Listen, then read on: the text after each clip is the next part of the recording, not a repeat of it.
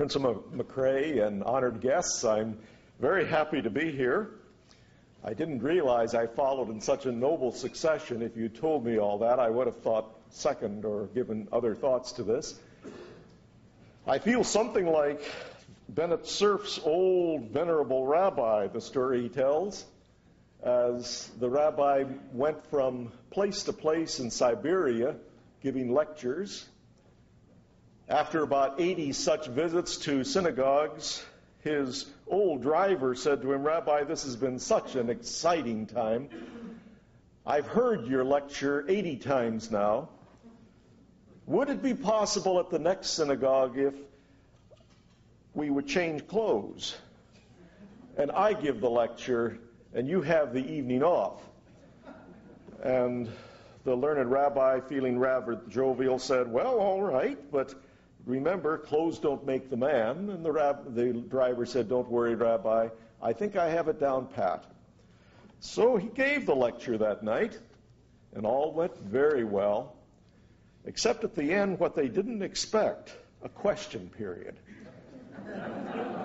and from the back, one ancient gentleman posed a very difficult question of Talmudic law. And the bogus rabbi stood there with his arms crossed and looked at the gentleman. And when he had given the statement, the bogus rabbi said, My good man, that's such an evidently elemental question that even my old driver can answer that. Driver, come up here and answer that for him.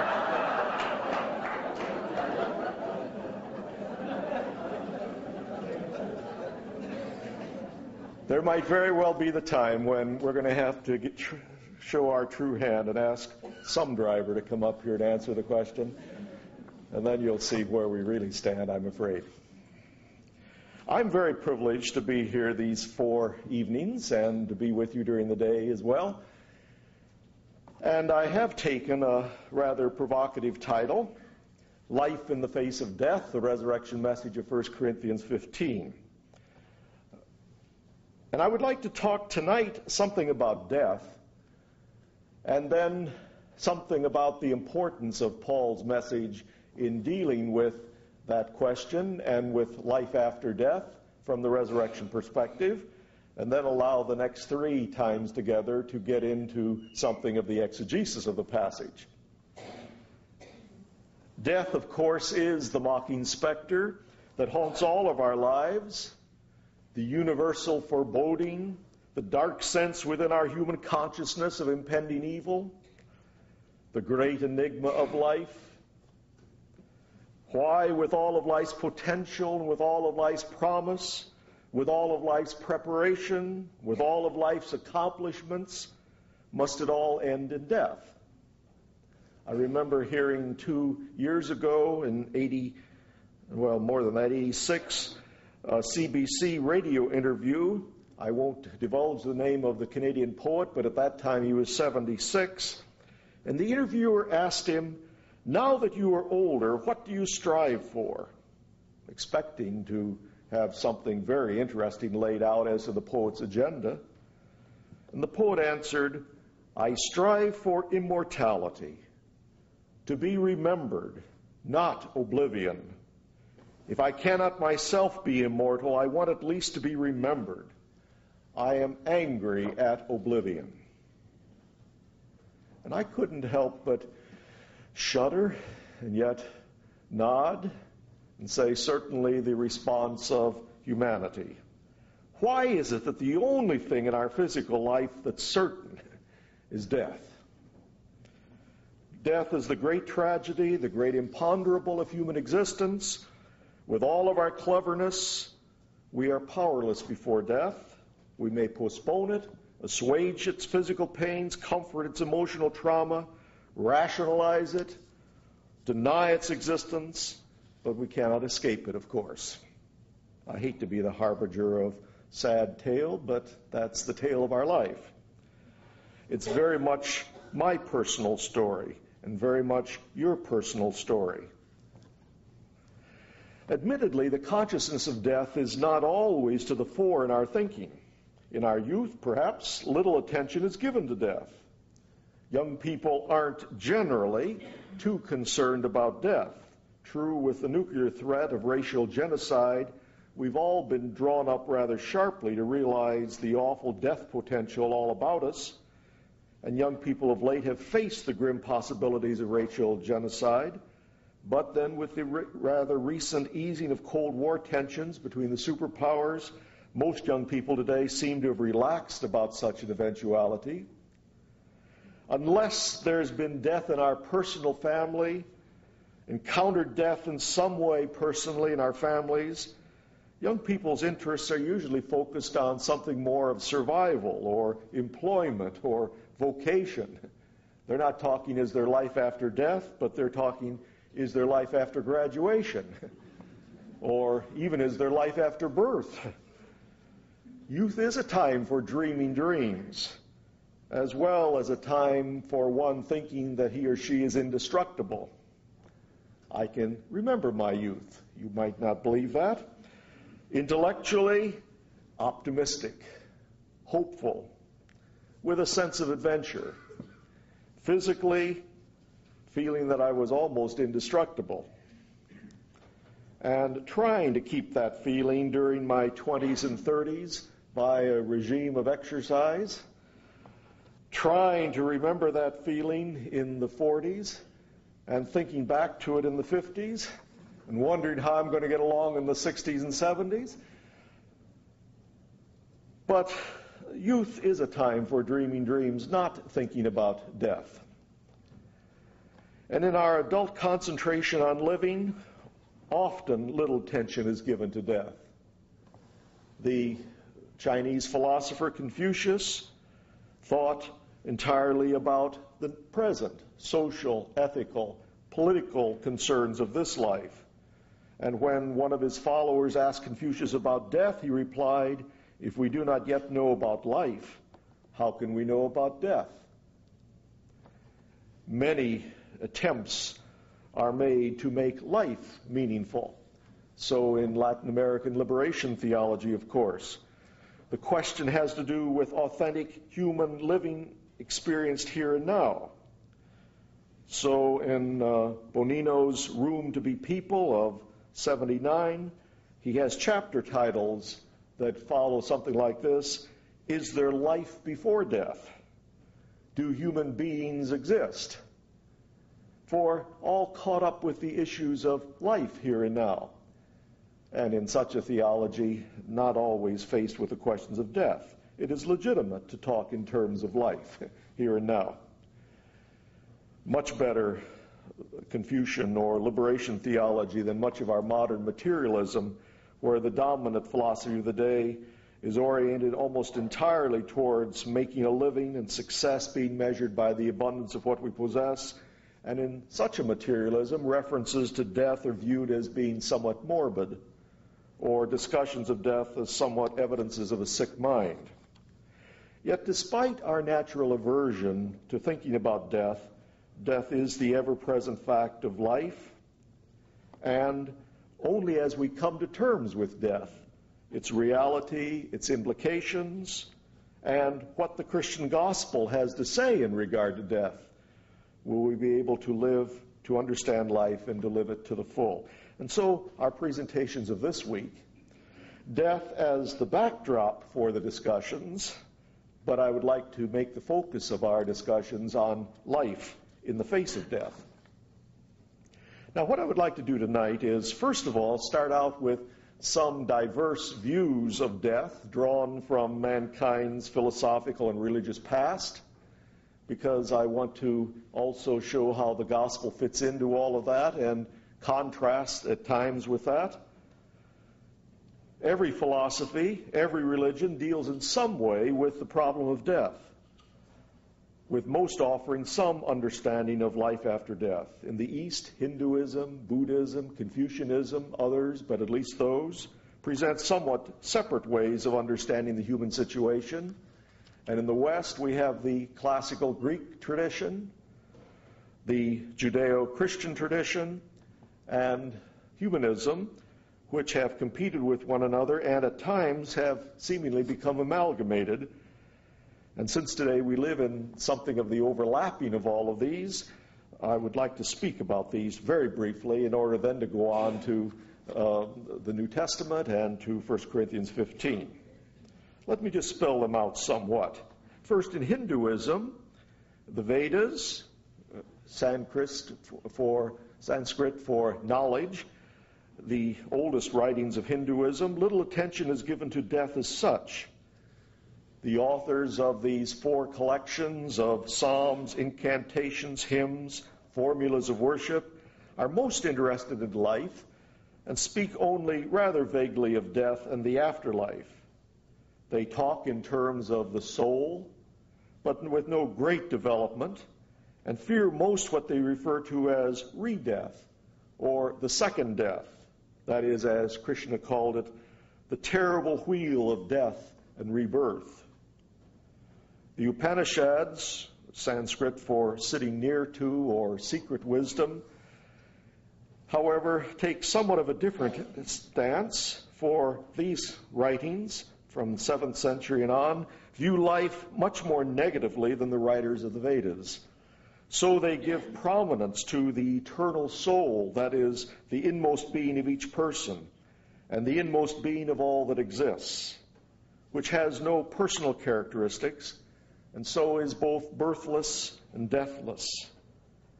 And it is Hinduism, as interpreted by the Upanishads, that is most practiced in India today and is best known worldwide. For Hinduism generally, human death has no reality. For the eternal soul can neither come to an end or have a beginning. What appears to be born and subsequently to die is not real, but of the nature of illusion. This illusory self is a creation of and totally subject to the contingent world.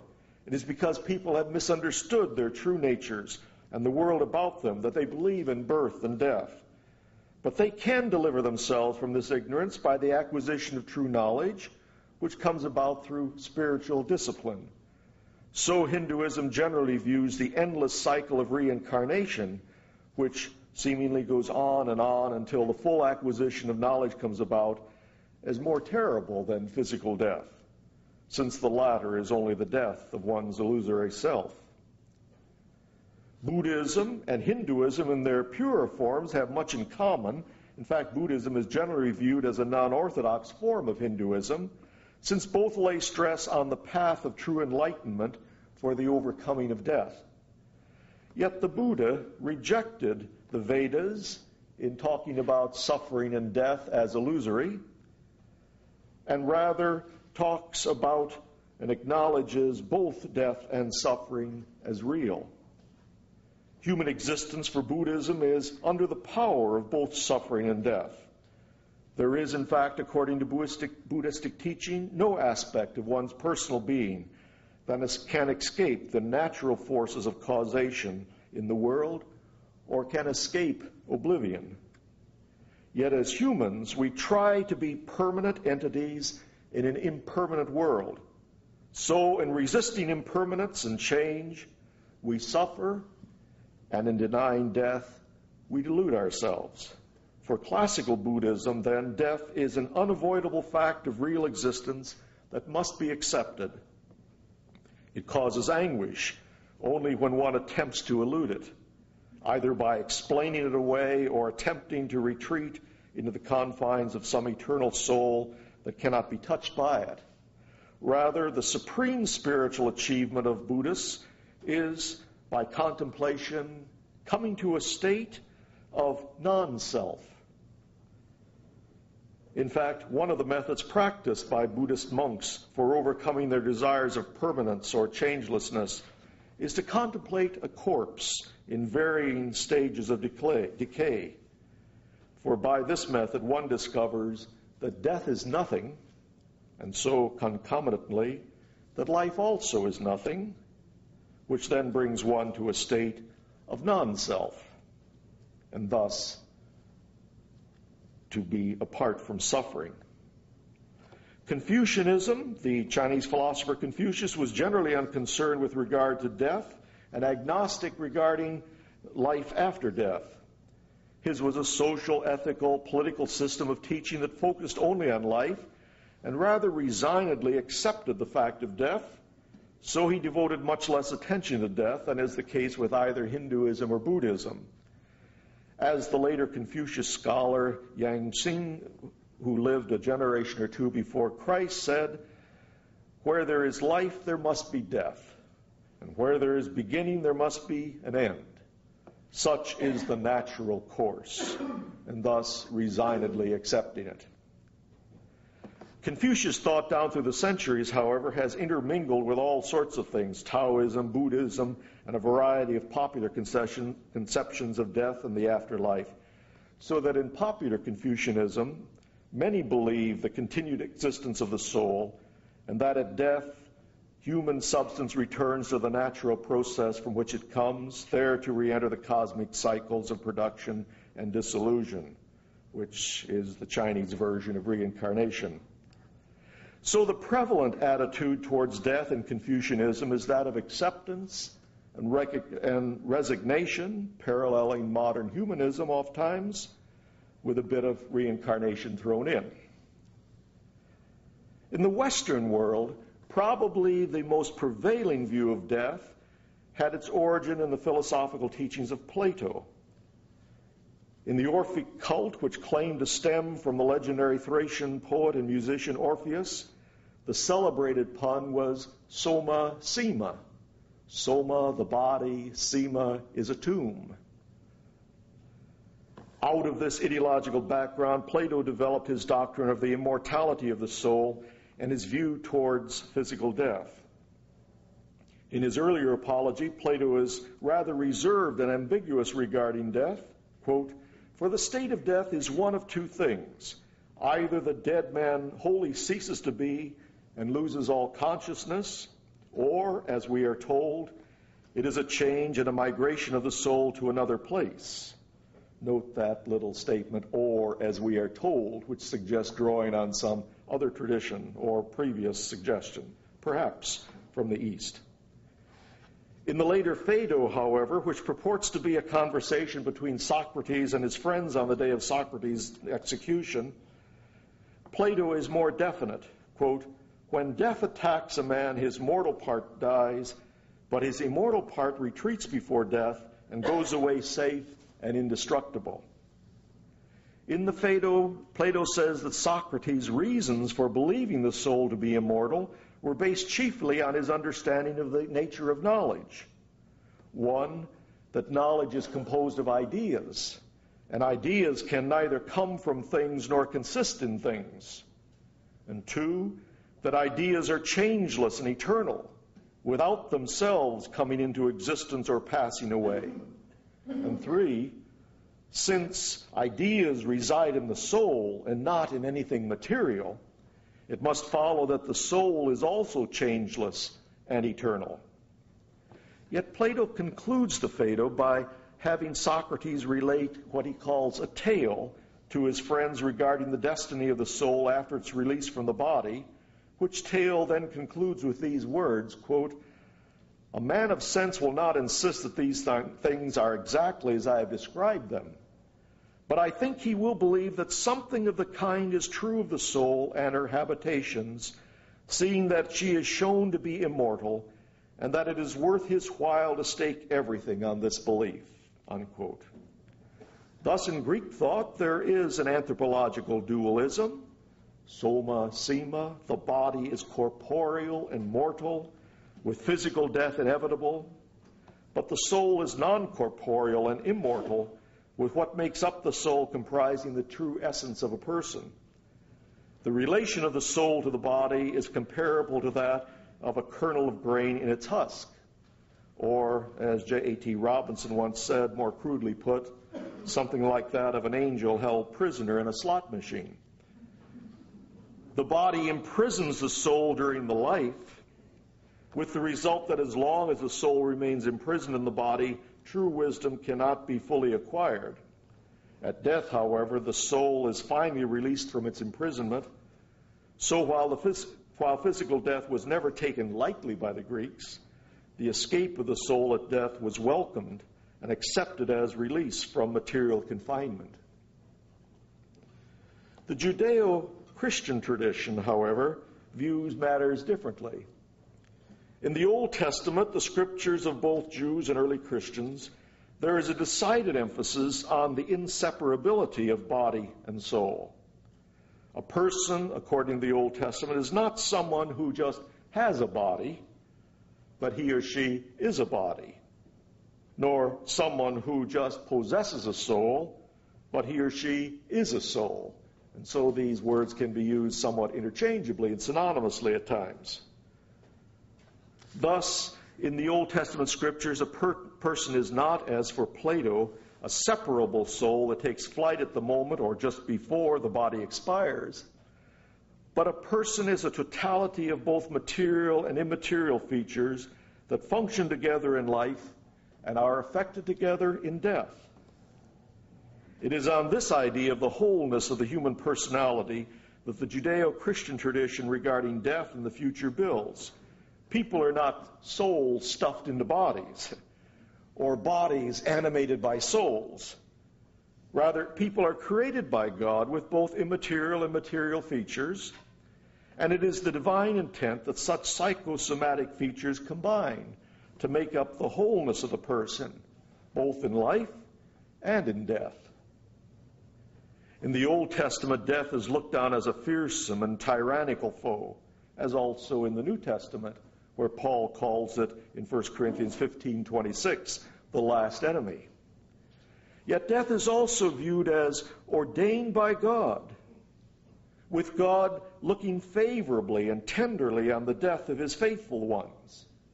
You remember Psalm 116:15, precious in the sight of the Lord is the death of his saints. And furthermore, with God somehow keeping those faithful ones in intimate fellowship with himself. Compare, for example, the sense expressed in many of the Psalms that the faithful who live in intimate relationship with God will not lose that intimacy even in death.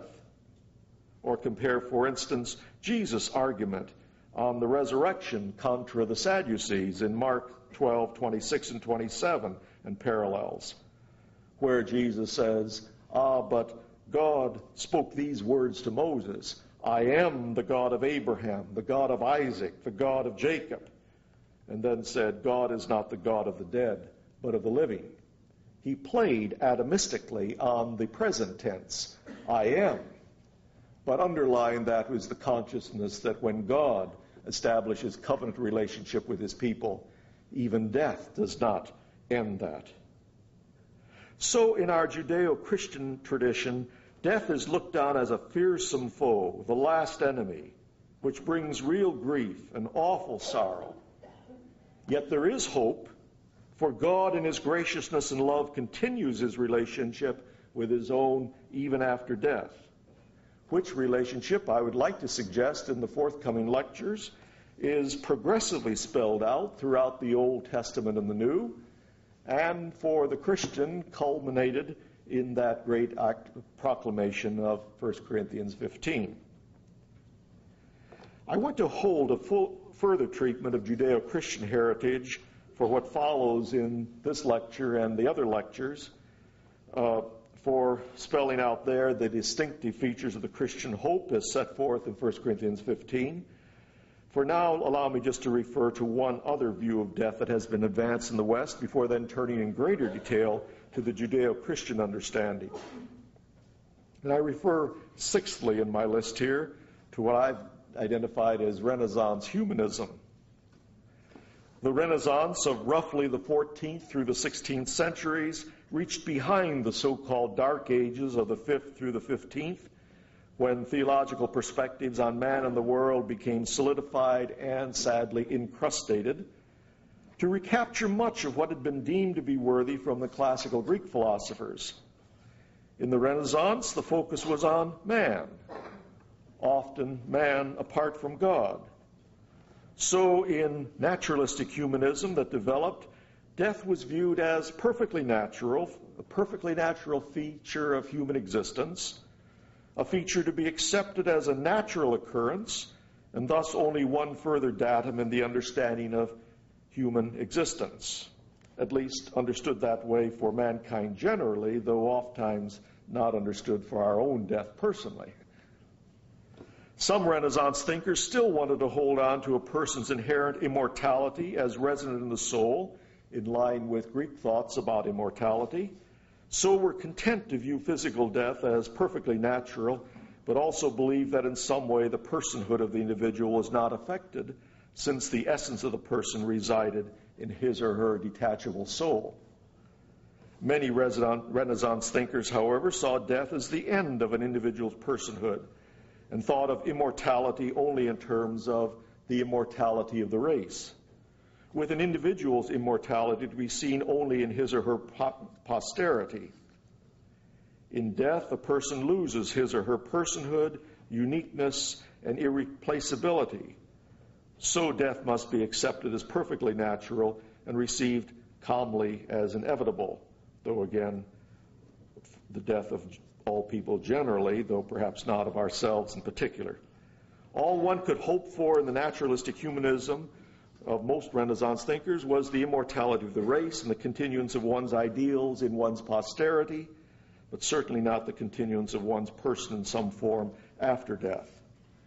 Since today we live amidst the overlapping of all of these, and I've listed some six uh, traditions and approaches, it's not surprising to find all of these answers competing for allegiance in our own thinking regarding death and its significance.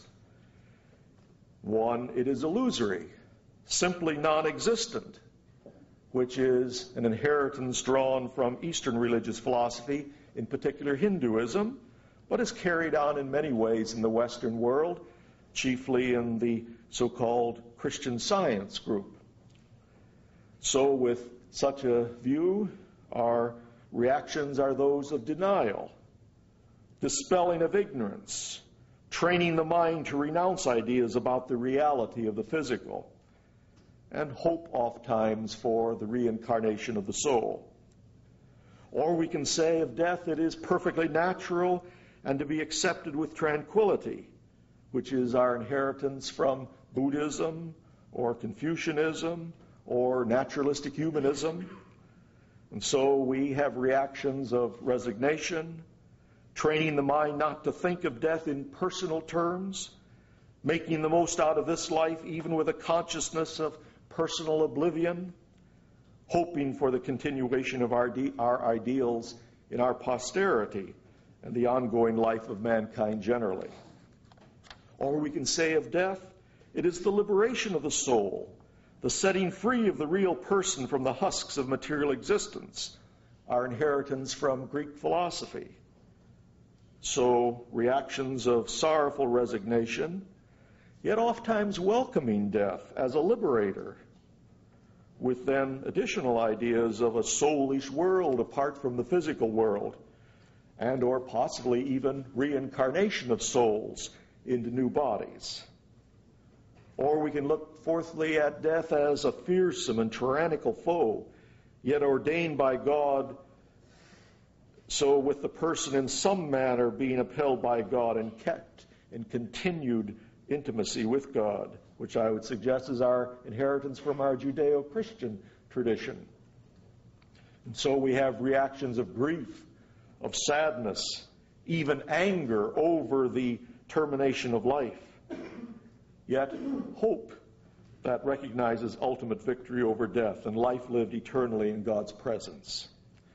Reginald Bibby, you know, in Fragmented Gods, reports that Canadians are almost equally divided between five dominant reactions to death. One, that of mystery. Two, that of sorrow. Three, that of fear. Four, that of hope. And five, that of a feeling of nothing in particular. He tells us that the predominant Anglican United Church response is that of mystery. And I would like to later, when we pass out a bibliography tomorrow, uh, we didn't get it done today, uh, have show some bibliography there that talks in terms of death as mystery from some of these groups, or that of the response of Protestant conservatives and Roman Catholic charismatics is mostly that of hope, with those professing no religious affiliation, as well as many in the churches, saying that they have no particular feelings whatsoever, remaining agnostic and in somewhat of stunned silence in the face of death. And regarding life after death, as Bibby reports, 30% of Canadians either are uncertain about a future life, 16%, or denied entirely, 14%, with 70% believing there must be something after death. Yet of those 70% who believe there must be something after death, one tenth think of that something in terms of reincarnation, and one half of those 70% have no idea whatever what it might be. Indeed, as Bibby points out, with regard to our understanding of death and life after death, Canadians as a whole have been little influenced by the Christian message.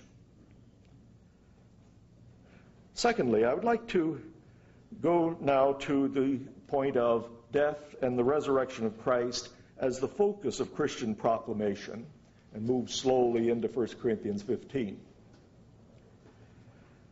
Other religions and philosophies focus on the teachings of their founder or leading thinkers and can be called, quote, path religions, unquote, following those teachings.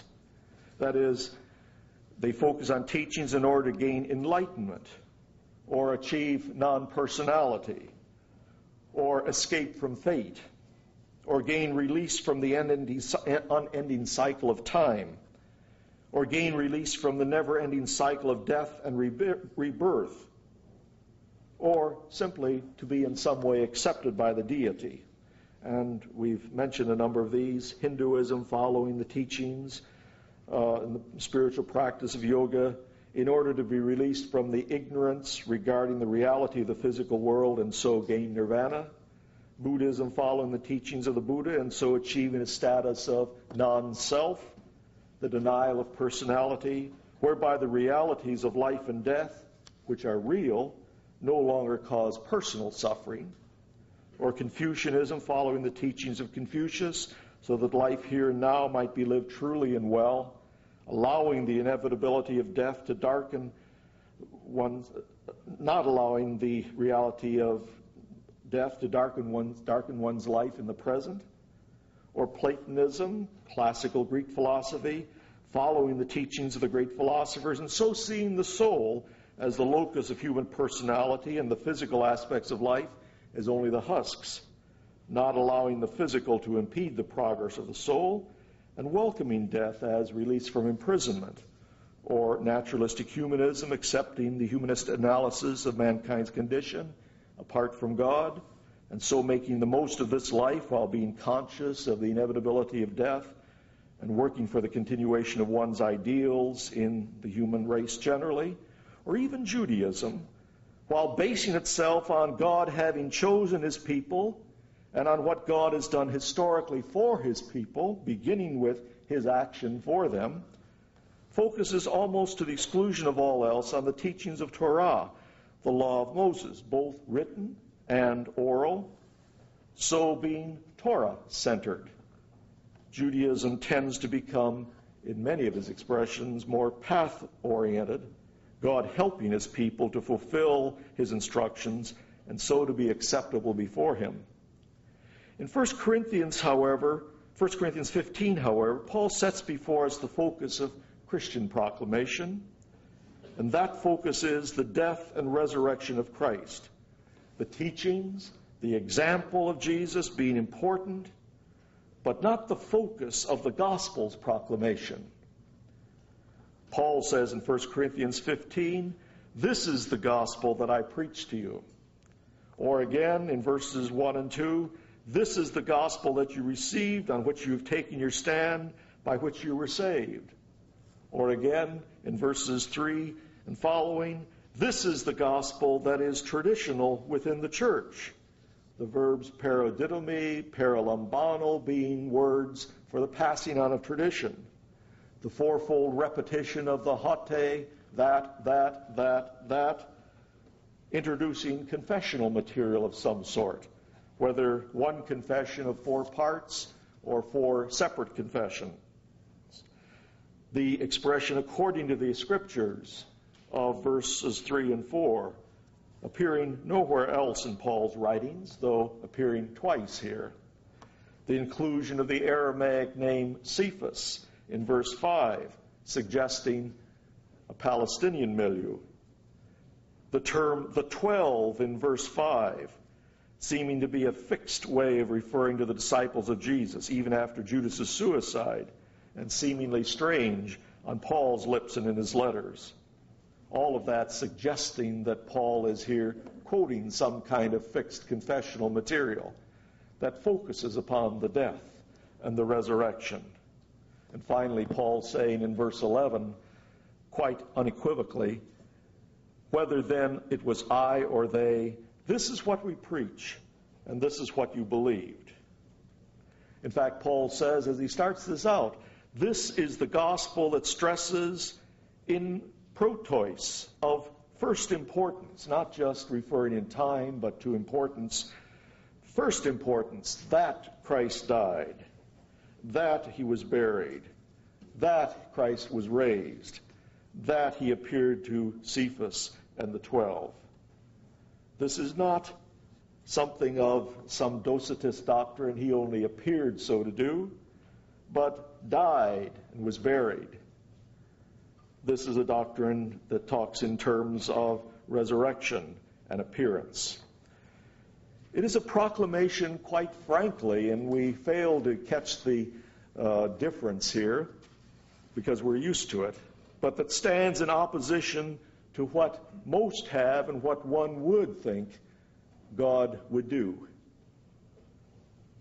Paul acknowledges this in 1 Corinthians 1:18 and following for the proclamation of the cross is foolishness to the world, being a stumbling block or a scandal to Jews and foolishness to Gentiles. Jews had other expectations of their Messiah glory, national sovereignty, political power, even perhaps military conquest, as you read Psalms of Solomon 17 and 18, or look at the Dead Sea material in the War Scroll other expectations that were not in terms of death, dying, etc. Greeks had quite other expectations regarding divine intervention, lofty teaching, the glory of Mount Olympus, irresistible power. Who would have thought that divine redemption would focus on a cross? You've often heard the modern satirists, say, quote, it's like today wearing a miniature electric chair or a symbolic gallows around one's neck, which usually draws a laugh, but quite frankly points up the irony of it all. Indeed, who would have thought that we would focus and that the gospel would focus upon the cross? Paul said this as he writes to the Romans the capital city of the empire, and begins that letter in 116 with, I am not ashamed of the gospel. And goes on to say, because it is the power of God for the salvation of everyone who believes, first the Jew, then also the Gentile. There is reason to be embarrassed if we judge the gospel only humanly. For it does not talk in terms, first of all, of lofty teaching, exaltation, the godly and the divine, as we would expect. It talks about suffering and death. And so, of course, Jesus in all of his ministry, uh, beginning at Caesarea Philippi particularly and on, talked about going to Jerusalem and suffering and dying and there entering into his glory. And that the path to glory was through suffering and death and resurrection. So I'd like to make the point that the resurrection of Christ is the basis for the Christian's hope. Christians at Corinth, having been only recently converted, were experiencing a number of problems in their lives, many of which seem to have been something of hangovers from their previous ways of looking at things. We're told of a number of problems they had in 1 Corinthians as we move closer to 1 Corinthians 15. You remember the divisions in chapters 1 to 4 that were learned by Paul through the house of Chloe. the problems that had to do with immorality and incest in chapter 5, and taking fellow believers before the law in chapter 6, which Paul says were commonly reported, and the problems that were addressed to him directly, they had written him about marriage and celibacy in chapter 7, eating meat offered previously offered to idols in 8 through 10, disorders in the church in the first part of chapter 11, disorders in the celebration of the Lord's Supper in the latter part of chapter 11, spiritual gifts in chapters 12 through 14. Uh, the particulars in regard to their problems in regard to resurrection are not spelled out for us as they are in those other matters of the first 14 chapters. Yet it seems clear from the way in which Paul deals with those issues that these problems were focused there in the Corinthian church and probably, if I may use the term, resulted from what could be called an over-realized eschatology. That is, a belief that everything concerning the hope of the gospel had been fulfilled in their present experience, union with Christ, exalted spiritual state, the full culmination of God's promises.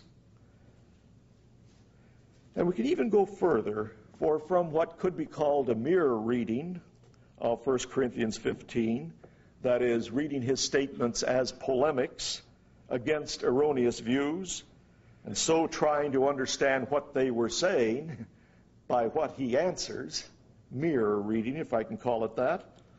Some of the Corinthian Christians seem to have been asserting, as Paul says, that there was no resurrection of the dead.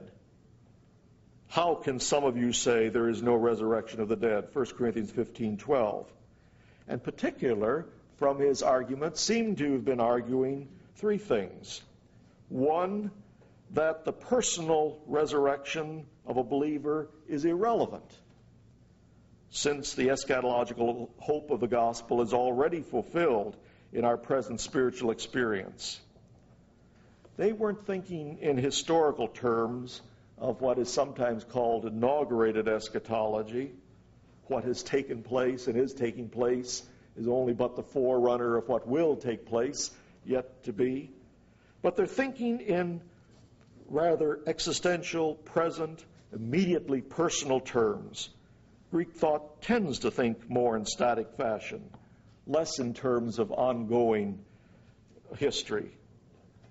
And to this claim, Paul, of course, answers, as we'll turn later, if in this life only we have hope in Christ, we are to be pitied more than all men.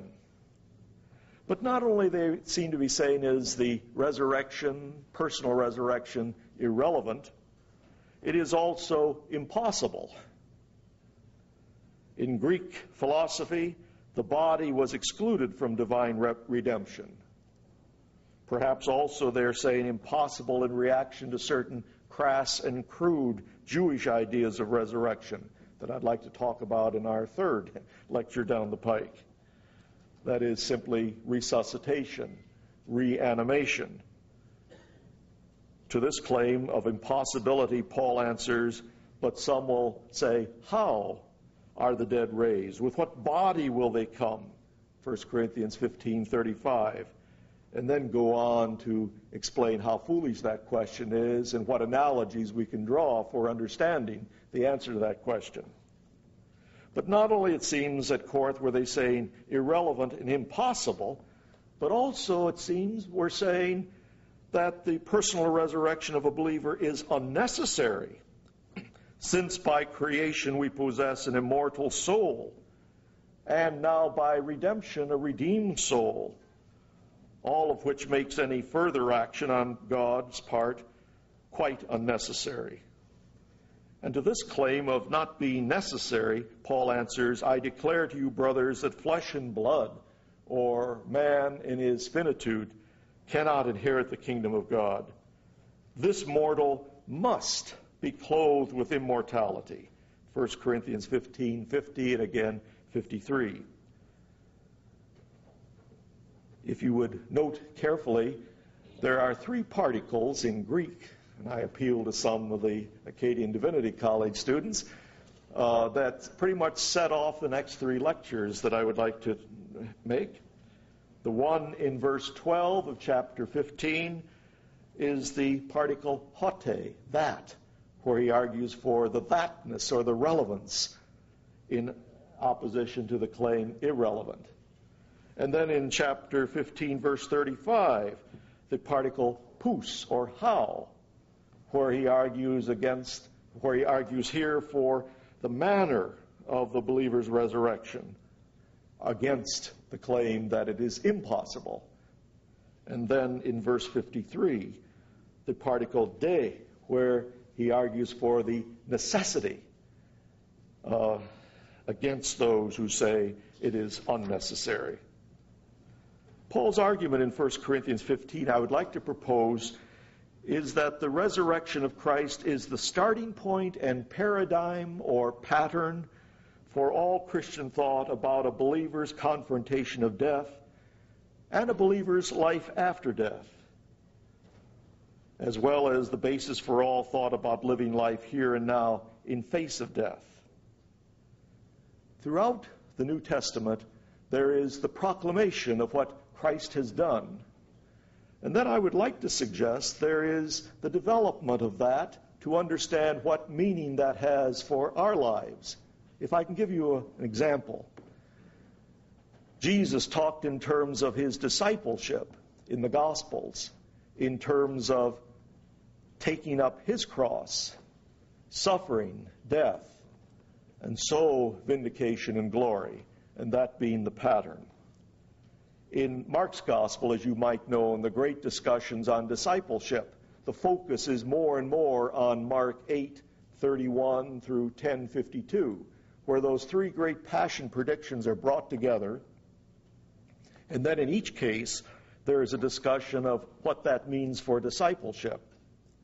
If we can catch the understanding of what messiahship meant for Jesus, we can then see what discipleship means for his own.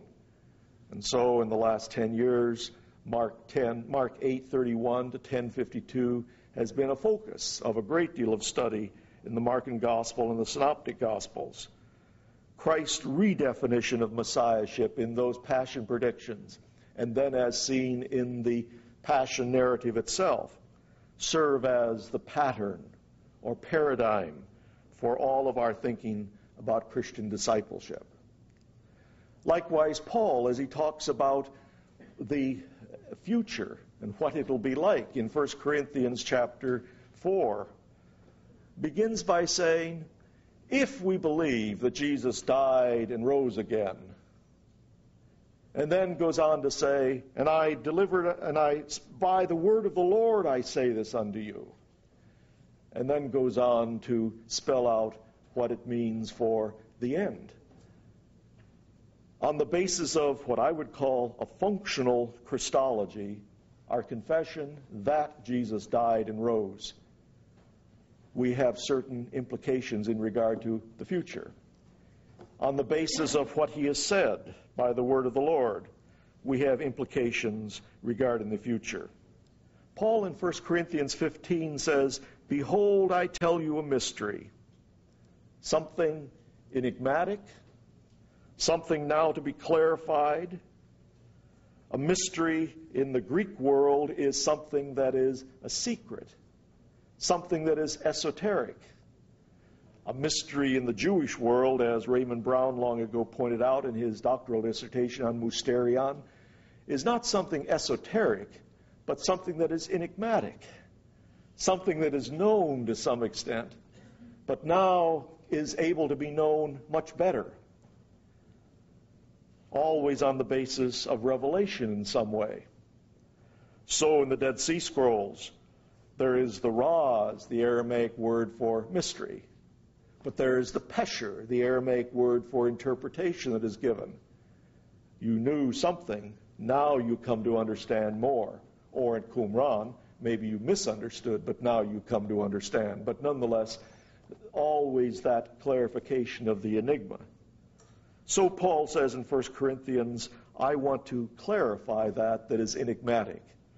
I would like in days, nights to come, rather, to talk in terms of enigma and how the resurrection of Christ clarifies the enigma and gives us guidance for understanding of the nature of death and life behind. It is that mystery, enigma now clarified, Paul says, that I want to speak further about to you as he goes on in 1 Corinthians. Basic to the mystery is the fact of the resurrection of Christ himself and the proclamation of Christ's resurrection by the church. It is only because of Christ's resurrection and the church's proclamation of God having raised Christ from the dead that we have hope in regard to the face in the face of death and expectation for life beyond death. Our hope as Christians, I would just really leave with you tonight, is not in denying death, not in renouncing personhood, not even in holding on to the soul's immortality, though of that we must speak further, not struggling to rise higher in the cycles of reincarnation, not even being brave in the face of the inevitable. For many godly Christians have died without that feigned bravery. Our hope rather stems from God, Christ's own resurrection where death has been conquered and life beyond death has been opened. And what I would like to suggest as we meet next evening is, and take as my title, Christ has indeed been raised from the dead, the first fruits of those who have fallen asleep. Our hope is not in something that we can teach ourselves to believe, is not in something we can hold on to, is not in some attitudes that we can pump up our hope is ultimately in God who raised Christ from the dead and thus set the paradigm for our own victory over death. I thank you.